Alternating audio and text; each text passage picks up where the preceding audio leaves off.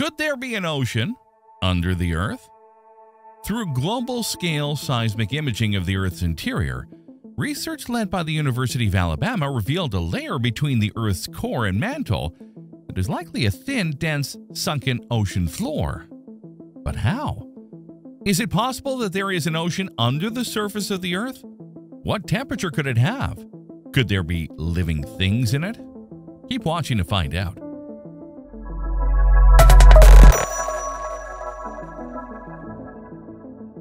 Ultra Low Speed Zones, ULVZ. To better understand this discovery, we must delve into the central topic of the investigation the ultra low speed zones, also called ULVZ by their initials. ULVZs are mysterious and fascinating areas under the Earth's crust that have puzzled scientists for decades. These zones lie at the core mantle interface of our planet, at a depth of approximately 2,900 kilometers below the Earth's surface. Unlike the rest of the mantle, which is composed mainly of magnesium and iron silicates, ULVZs have a very different composition.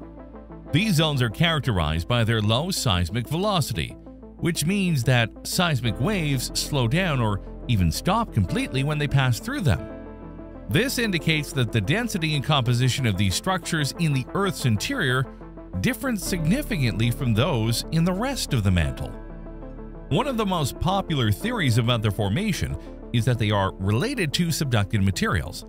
Subduction occurs when one tectonic plate dips under another and sinks into the Earth's mantle. The minerals found in these plates can remain stable at very high depths and temperatures, and can therefore be transported to the core mantle interface. These subducted minerals are believed responsible for the density and composition differences that characterize ULVZs.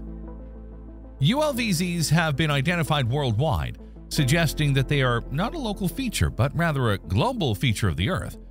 Furthermore, it is believed that these zones may have significant implications for the dynamics of the Earth's mantle and the planet's evolution.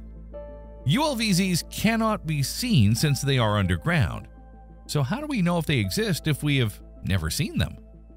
Scientists have used various techniques to investigate these structures and obtain information about their composition and origin.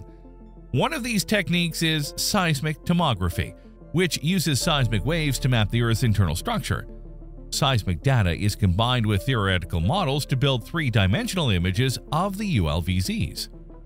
Another technique used is high pressure and temperature mineralogy. This technique involves high pressure, high temperature experiments that help determine the stability of minerals at the depths and temperatures found at the core mantle interface. These experiments provide information about which minerals may be stable under these conditions and form structures in the planet's interior.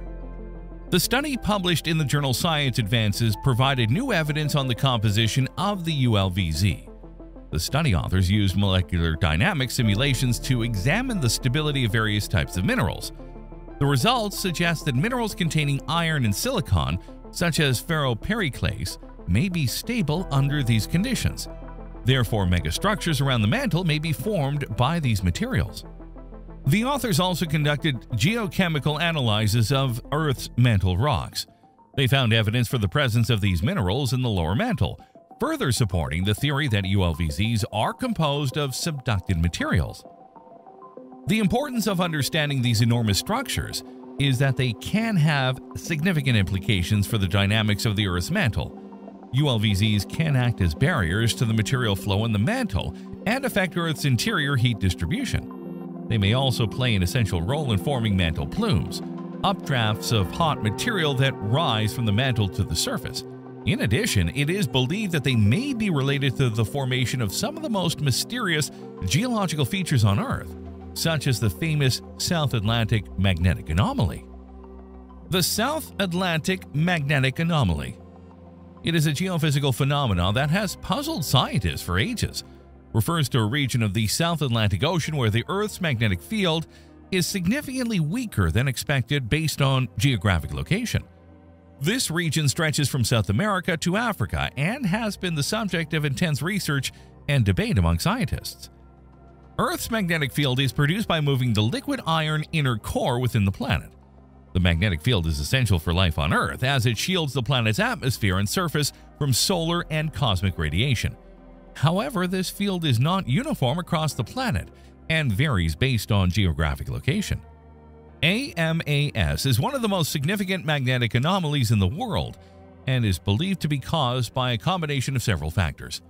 First, the South Atlantic region is known to have a large amount of volcanic and sedimentary rocks rich in iron and other magnetic minerals. These minerals can distort and weaken the Earth's magnetic field in certain areas. Furthermore, it is believed to be related to the Earth's outer core dynamics. The outer core is a layer of liquid iron that surrounds the inner core and is in constant motion. This movement can create electrical currents in the outer core that, in turn, generate Earth's magnetic field. It is believed that these electric currents may be disturbing the magnetic field in the South Atlantic region. In the last decades, geological and geophysical studies have been carried out in the region to understand this anomaly's cause better. One of the most widely used tools in these studies is magnetometry, which measures the strength and direction of the Earth's magnetic field. Scientists have also used satellites to map this area from space. The data collected by these satellites have allowed scientists to create detailed maps of the anomaly and to analyze its distribution and characteristics. As scientists have delved deeper into this region, they have discovered that this anomaly has significant implications for navigation and communication. The weak magnetic field in the South Atlantic region can interfere with compasses and other navigational equipment, which can be dangerous for ships and aircraft traversing the region. Furthermore, this zone of low magnetism can also affect satellite communication and other telecommunication systems. Cosmic radiation penetrating the Earth's atmosphere can be affected by the weak magnetic field in the region, which can cause failures in communication systems. The investigations to study the South Atlantic magnetic anomaly have also helped us better understand our planet's structure. Thanks to this, we have discovered that ultra-low speed zones exist inside the planet. But we have also discovered structures the size of mountains that appear to be ancient oceans. Buried mountains and oceans. Recently, the project led by research fellow Samantha E. Hansen of the Department of Geological Studies, the University of Alabama, conducted seismic wave surveys in the Southern Hemisphere and Antarctica. These provided the highest resolution images of our planet's interior structure, and we've discovered that Earth's internal structures are much more complicated than previously thought. The project was able to probe a large part of the Southern Hemisphere in high resolution for the first time, using a detailed method that examines the echoes of sound waves from the core mantle boundary. Hansen and the international team identified unexpected energy in the seismic data that arrived several seconds after the reflected wave at the boundary. These subtle signals were used to map a variable layer of material across the study region that is pencil thin but several tens of kilometers long, which is somewhat surprising, consider that the Earth's dominant layers are several thousand kilometers thick. The properties of the abnormal lining of the core mantle boundary include substantial reductions in wave velocity. That is, it is made of the same materials as ultra-low velocity zones. These ULVZ discoveries can be well explained by ancient oceanic seafloors sinking to the core mantle boundary due to the sinking process of continental plates. Oceanic material is transported into the planet's interior, where two tectonic plates meet, and one plunges beneath the other, known as subduction zones. Accumulations of subducted oceanic material build up along the core mantle boundary and are pushed by slowly flowing rock in the mantle over geologic time.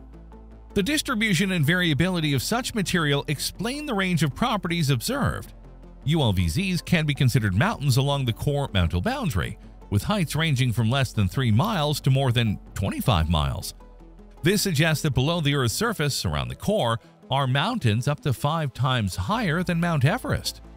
That is to say that inside our planet, there are remains of what thousands of years ago was the continental plate that contained oceans as large as the Pacific Ocean and mountains larger than Mount Everest, but are now several thousand kilometers below the surface.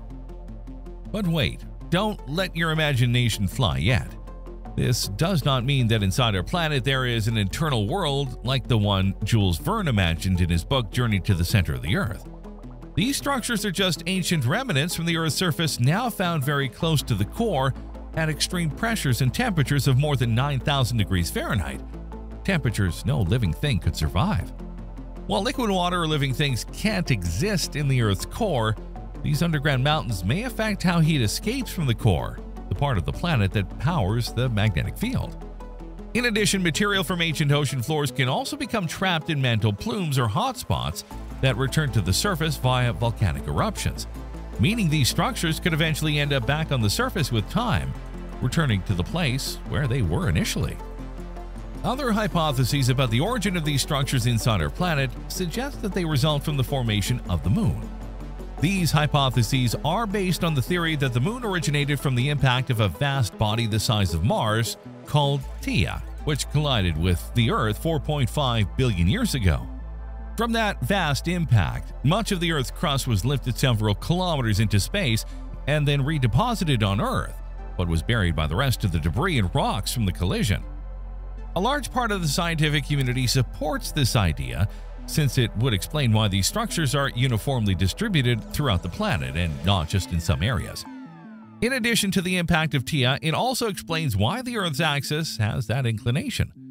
Although there is no conclusive evidence yet, little by little science brings us closer to finding the truth. Ultimately, research into the Earth's core reminds us of the incredible complexity of our world and how much remains to be discovered. By continuing to explore the secrets of Earth's core, we can better understand our place in the universe and how we can live in harmony with our planet.